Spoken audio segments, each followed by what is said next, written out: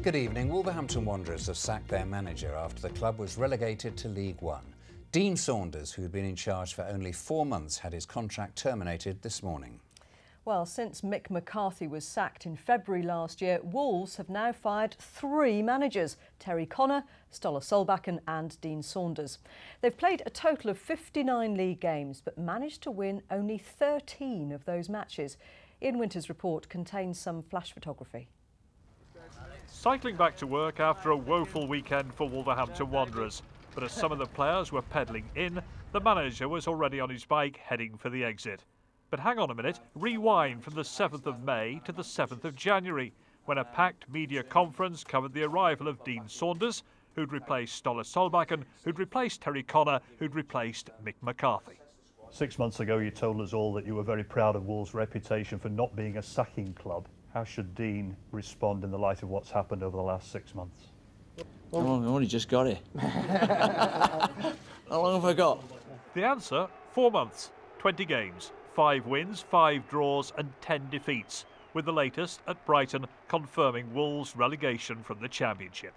Ten minutes ago, I've started rebuilding the club, um, and you have to go forward now. Um, I mean, sometimes it takes hitting rock bottom before you realise things have got to change. Starting with Saunders himself, because unbeknown to him, the chairman had decided that his 12-month rolling contract had rolled long enough.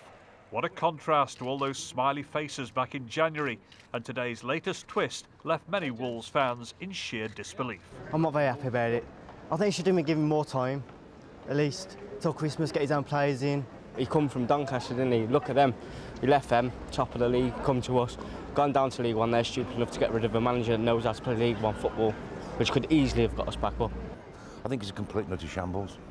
I can see them doing the same as they did in the 70s, straight the way down to the bottom. Having the best stadium in League One is no consolation to the fans at Molineux, because tonight Wolves are looking for their fifth manager in 15 months.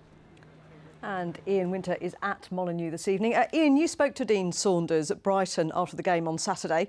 Fair to say he didn't see this coming? Mary, that's absolutely fair comment. No question at all. Dean Saunders fully expected to be given the green light uh, to resurrect the club from its current predicament.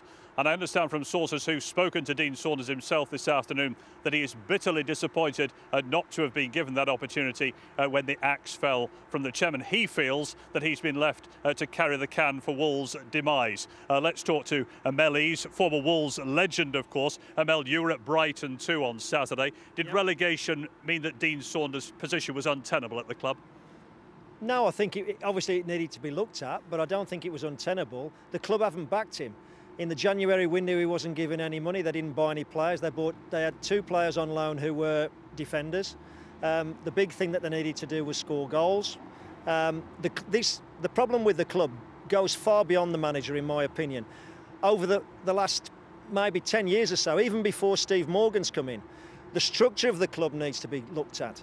They've got Kevin Thelwell in there as a direct, as a uh, technical director or whatever. I don't know what his the actual title is, but he, he needs to he needs to be given more authority, or they need to bring somebody in on the board at board level that, that is that doesn't have to go through the chief executive. Okay, let's say in a, in a word, what sort of manager do Wolves need to get them out of the current plight? They need an experienced manager who can who can who will really be uh, taken notice of and will really sort the culture of the football club out and that can really take it forward and get Wolves back to where they were. Simple as that. Okay, Mel, thanks very much indeed. The former Millwall manager, Kenny Jackett, who resigned his position today, has immediately been installed as the bookies' favourites. Uh, we await further developments on a very changing situation here at Molineux. You can say that again. Ian Winter, thank you.